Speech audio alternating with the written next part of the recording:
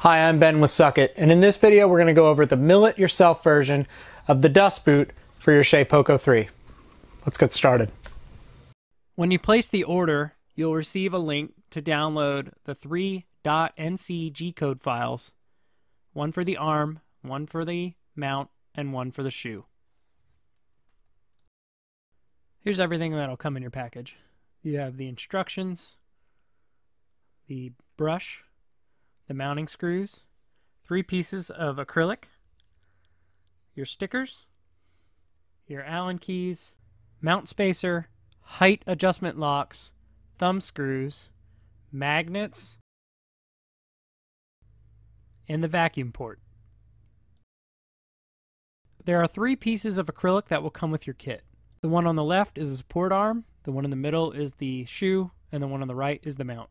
Let's start with the one on the left, the arms. Here you'll notice the mounting positions for your clamps. It's extremely important to mount them in the correct spaces or your bit will hit the clamps. We're using the OOPS clamps by SuckIt to clamp the material to the wasteboard. We want to make sure our acrylic is square to our wasteboard and please note the clamp positioning one on the right center and two on the left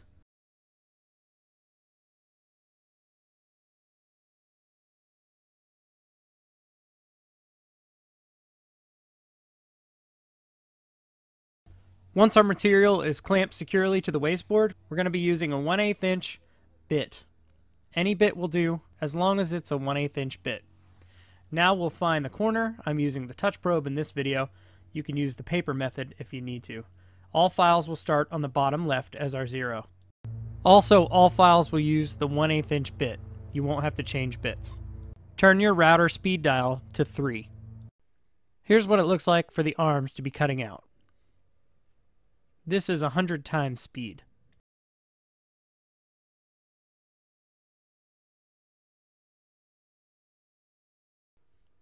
Once it's finished cutting, remove it from the wasteboard. We like to use a pair of snips to remove the tabs. If worse comes to worse, you can use a pair of scissors.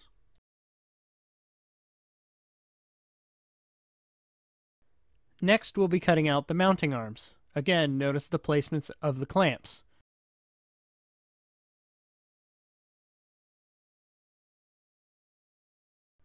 We're repeating the exact same process, again with our zero on the bottom left. We're using the touch probe to find our zero.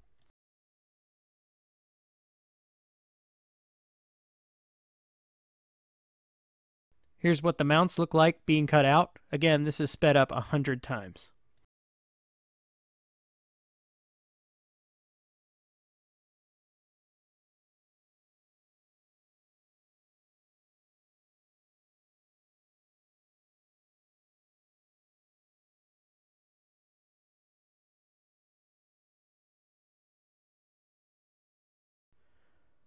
Now we just remove the clamps and we're going to use the same method using our snips to remove the tabs. Finally, we'll cut out the dust shoe. Take notice of the clamp position one last time.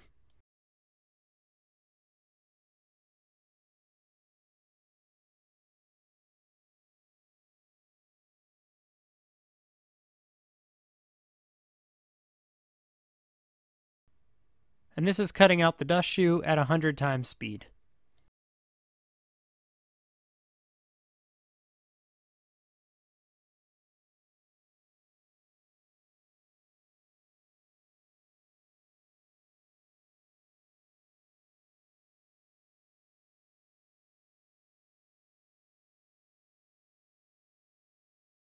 There are several ways to get the tabs removed from the parts. We like to use a belt sander. You could also use a file or hand sand at this point.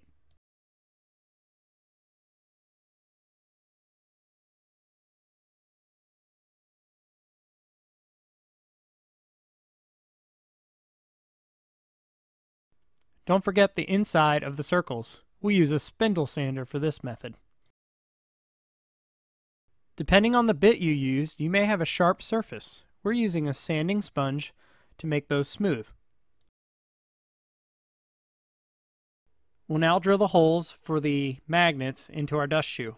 You'll need the shoe, a marker, and a caliper.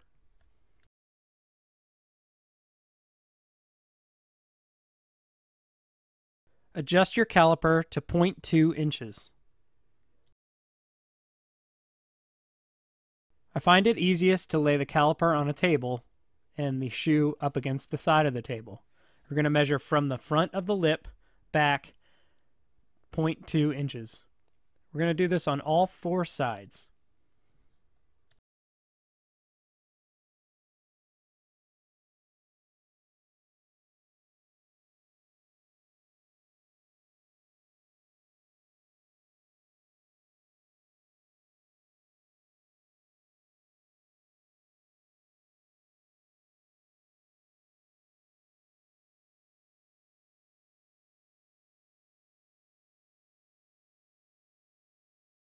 Next, we'll set our calipers to 0.172.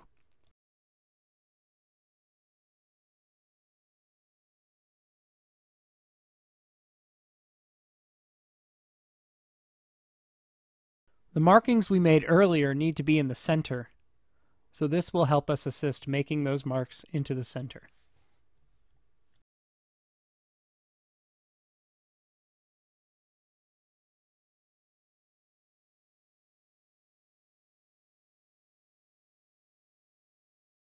Repeat this step for all four marks.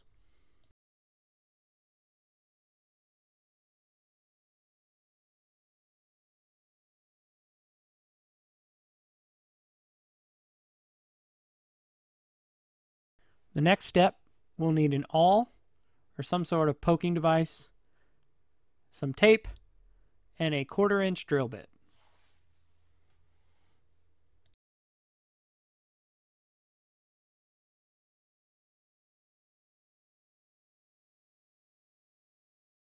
Place your bit into your drill or drill press. If you have a drill press, it's much easier.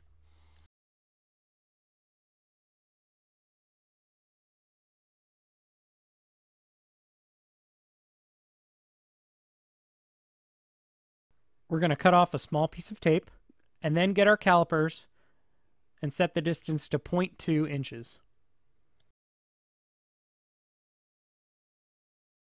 We're going to measure from the bottom of the bit up the shaft, and we're going to place that tape at the 0.2 inches mark. This will be a depth stop, so we know how far down we need to drill. We're using a wood vise to help keep the dust shoe stable. You could hold this by hand if you don't have a vise.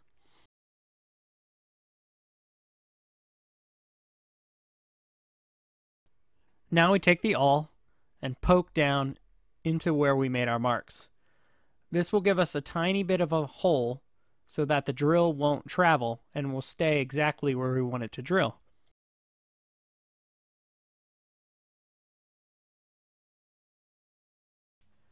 Now we drill the holes, making sure to stop at where we just placed the tape mark. Repeat this process for all four holes.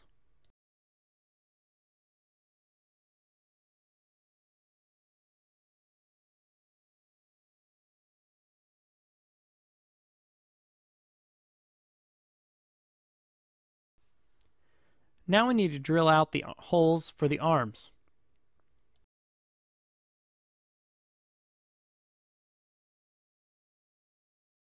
We're going to use a 3 16th inch bit for this process. Install it into your drill or drill press.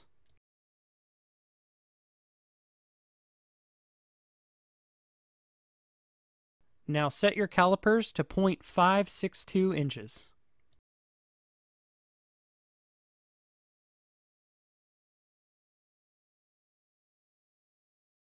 We're going to measure from the top of the arm down, and we'll make a mark.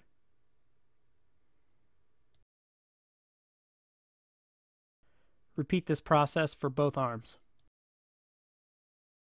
Take the mark you made on the side and place that into the front of the arm. We want to aim for center of the arm when we place this mark. Eyeballing is good enough. Repeat that for both arms. Place them side by side, and we can see that they're pretty level. Now we'll take the drill and drill all the way through.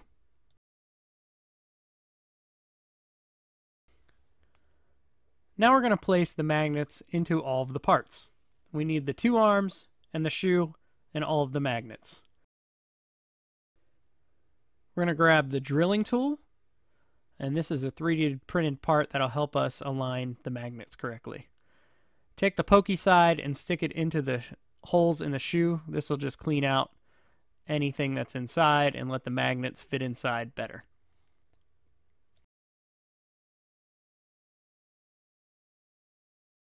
We have four bigger magnets and four smaller magnets. We'll separate these out on the table.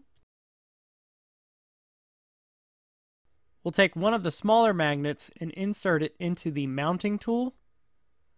It doesn't matter which way we place it, as long as it's fit inside. We will remove it later. Be careful on this part because this is where polarity matters. You'll notice I lifted it over one of the magnets and it stuck. We're going to get some CA glue and place it into the holes of the dust shoe on one side. We're not overfilling, we're just putting enough to where when we stick magnets in, they will stick and be glued inside. Now we grab the tool with the magnet stuck on the end and we stick that magnet inside the hole we just put glue in. We may need to stick our thumb over it to hold the magnet in. Now we're going to take that tool and grab a second one. And this allows us to keep both polarities correct.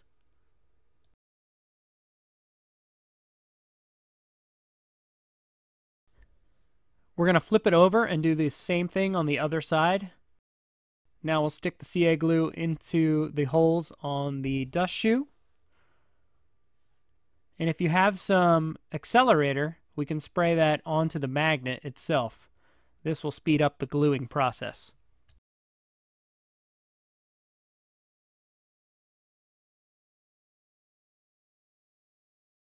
You want to get these magnets as flush as you can to the edge of the dust boot.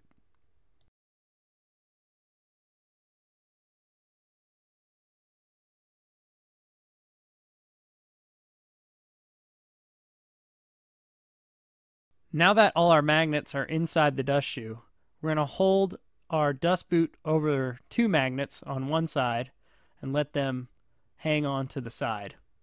These are the shorter magnets. We're then going to get one arm.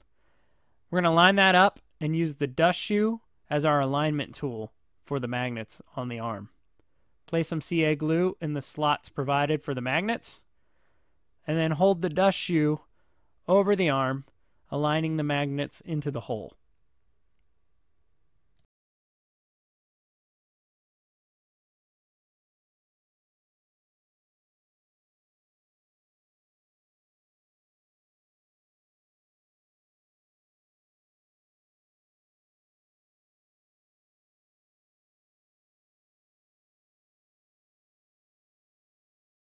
We've got one side finished, and now we're going to repeat that process on the other side. Make sure that you didn't glue the arm to the dust shoe. You only want the magnets to connect to each other.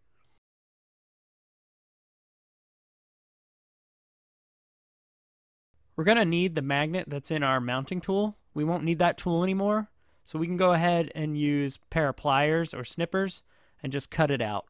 We'll throw that tool away. Keep the magnet.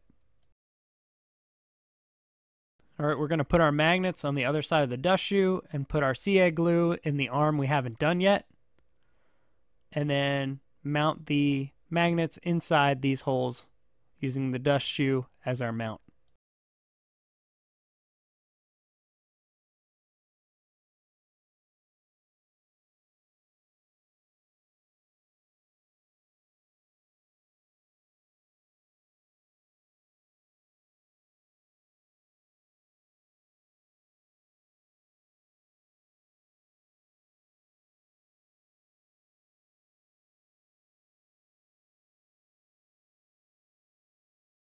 In a few seconds, our glue should be dry and our magnets be glued into the holes.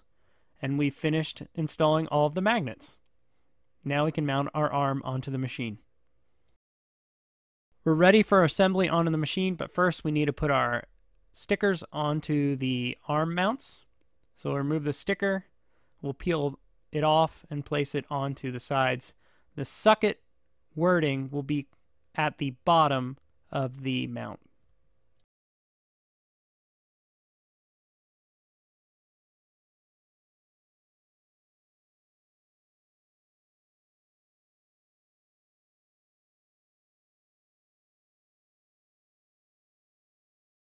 We're going to repeat the process so both arms will match.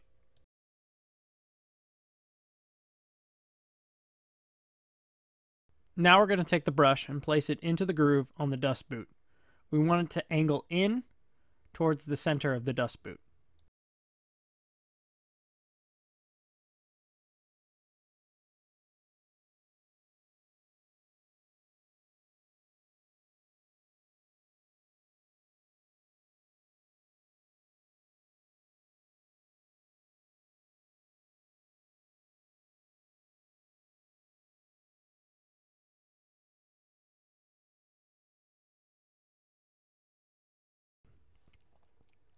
We'll take the vacuum port and place it into the hole on top of the dust boot. It should be a friction fit, but if you want this to be a permanent fixture, use the same CA glue we use for the magnets and attach them together.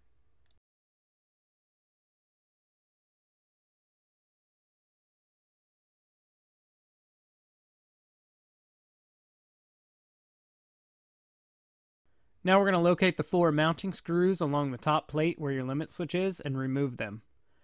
Keep these screws because you may need to replace them later on.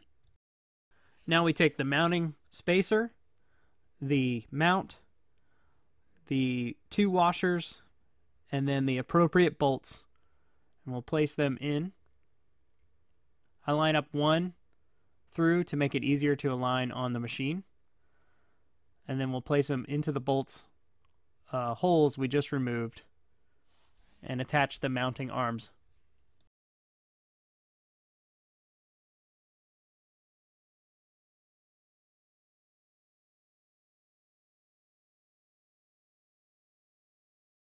We'll repeat the same process for the left-hand side.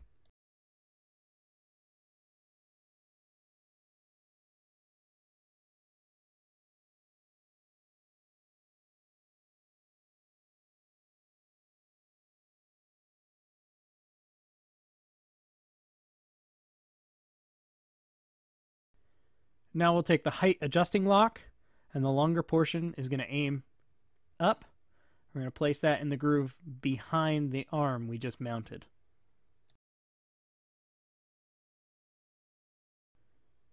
Now we'll grab the right hand support arm. The groove is going to face towards the router. And we're going to get the mount screw, place that in the hole with a washer. And that will go into the height adjusting lock behind it. We're going to tighten these down, but not over tighten, just to where it's about hand tight. repeat this process on the left hand side.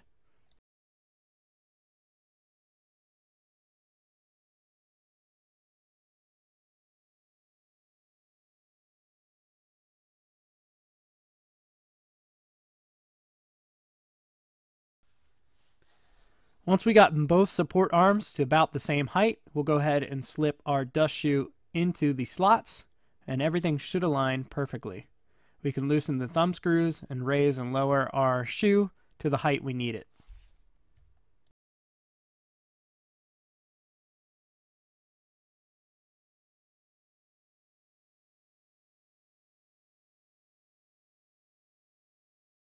Now, anytime you need to, you can raise and lower the dust boot according to how thick your material is you're cutting.